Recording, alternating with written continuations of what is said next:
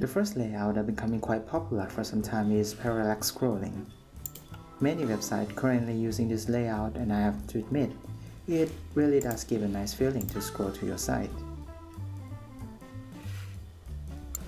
But the one that I'm going to show you today is not a regular parallax scrolling. It's a little bit more than that. Welcome to parallax.js. As you can see, it detects your mouse movement and scroll the element accordingly. Additionally, if you are a mobile user, Parallax.js will detect your device orientation. If you tilt your device, the element will scroll the same as you're moving your mouse on the desktop computer.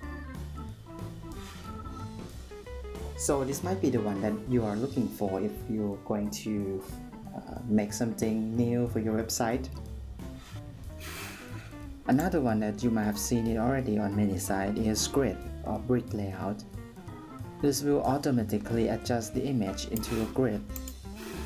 Don't worry about messing up with lots of code as there are JavaScript grid layout library available. And the one that I'm suggesting here is Masonry because there are available document and quick tutorial for you to get started. You can check out the official website and download the document or go to the GitHub. Another interesting layout is kinda vertical rain down style that let users scroll through your site and the content will dynamically appear or called lazy load. But to make the most of your layout and make your site more interesting, I think you will need some kind of scroll animation. And the plugin for this that I recommend here is Super Scrollorama. It's a plugin for this job and will make your uh, scrolling more exciting with many kinds of effects like fade, fly and spin or whatever you name it.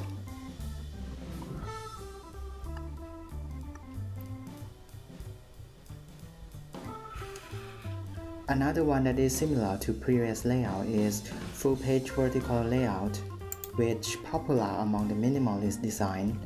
This will give you a simple and clean design and also let your user able to focus on the content and also separate the content into a section. I found a small example code that will get your homepage up and running with a quick coding, so have fun! This is the most interesting layout in my opinion. It separates your page into multiple columns horizontally. Very suitable if you have lots of content and you want to separate it into a scrollable column.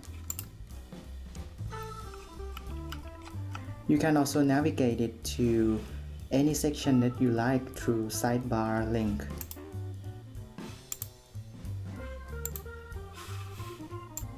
So that's all for this video. Let me know what you think and if you like this don't forget to subscribe for more interesting video. Thanks, bye!